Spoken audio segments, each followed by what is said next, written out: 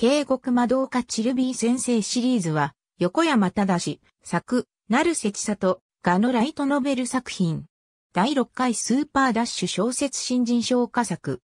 人間と獣人が互いの存亡をかけて争った人獣とも滅大戦が双方の宝玉使いによる歴史的和解で終結して講和条約が結ばれてから132年の時が流れたケルビム共和国。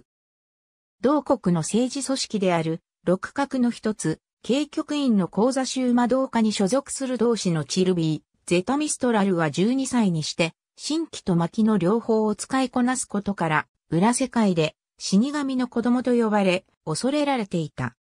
そのチルビーに対し、エレファンティネ島に潜伏している誘拐犯の捜索要請が下されるが、事件の裏には、同等の隔離地帯、ヒンノムで取り行われようとしている、聖魔、ビヒモス復活の儀式が関係しているらしく、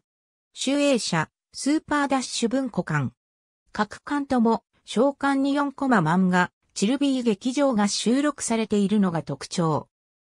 警告魔導家チルビー先生の迷子な日々2007年9月30日初版 ISBN 9兆7840億8630万3767警告魔導家チルビー先生の死神のロジック2007年12月25日初版 ISBN 9兆7840億8630万3958